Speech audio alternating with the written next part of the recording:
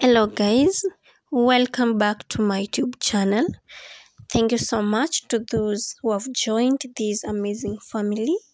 You know we are growing so fast.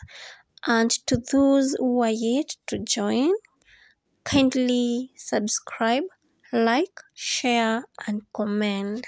So guys today after jamal made a post full of his wisdom you know he said that marrying a lady with kids doesn't mean you are a fool. And that a fool is the biological dad who ran away from his responsibilities, you know. And then he says, I have big heart for single mothers.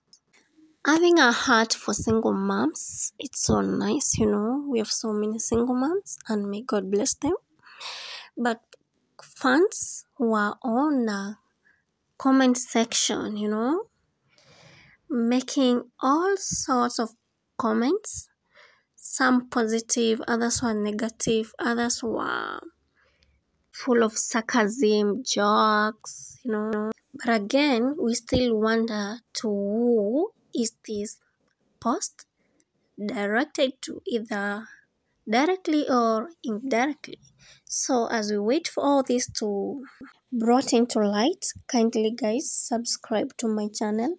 Support me guys. Watch my videos. Like share and comment. Until next time my dear friends. Bye bye